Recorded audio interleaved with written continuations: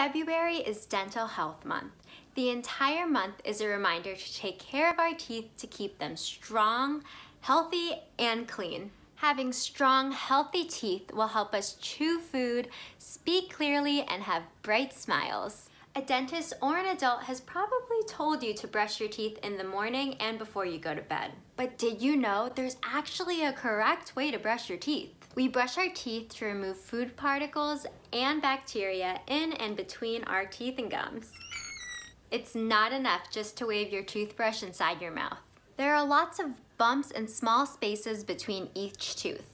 That's why it's important to brush for at least two minutes, up and down, and floss to get in tight spaces. The floss slides in between your teeth and gums a lot easier. Flossing gets rid of food that's caught between your teeth, but it's also an important step to prevent cavities, bad breath, and most importantly, gum disease. Here are two Twinkl tips. When you're brushing your teeth at home, use a timer to make sure it's two minutes. If you don't like the flavor of mint toothpaste, there are also flavors like strawberry, watermelon, bubblegum, and even Oreo flavored toothpaste. Brushing your teeth can be a yummy activity. We also have to be aware of the food we eat too. This can make a huge difference with our teeth. Sugary, starchy, and sticky meals actually stay in our mouth for a long time. That includes soda, gum, candy, chips, and pretzels.